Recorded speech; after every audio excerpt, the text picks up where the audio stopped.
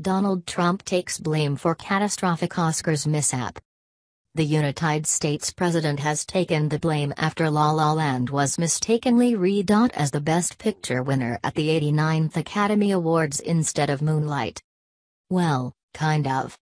In an interview with Breitbart, Donald accused the Oscars team of making the epic gaffe because they were too focused on him, of course. He said, I think they were focused so hard on politics that they didn't get the act together at the end. It was a little sad. It took away from the glamour of the Oscars. It didn't feel like a very glamorous evening. I've been to the Oscars. There was something very special missing, and then to end that way was sad. Chaos ensued at the Oscars when Warren Beatty and Faye Dunaway accidentally named La La Land as the winner, when in fact, drama Moonlight had won.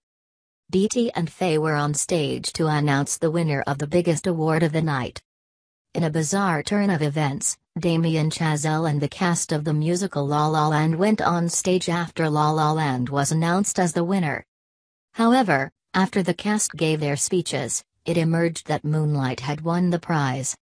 La La Land's cast and crew were then forced to leave the stage, while Moonlight came on to accept the prize, awkward. And despite Trump saying the awards show was missing something special, he did make it to the show after all even if it was in the form of a Jimmy Kimmel gag. Gag.